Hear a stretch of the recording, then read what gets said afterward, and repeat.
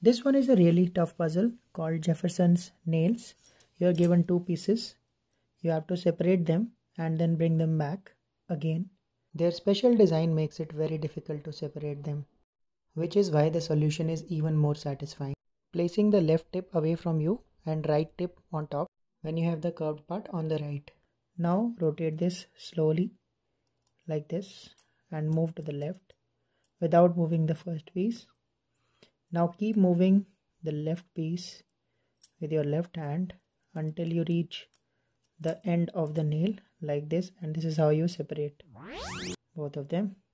Now to bring them back, reinsert at the same position, keep traveling the nail like this and then come back when you reach the same state.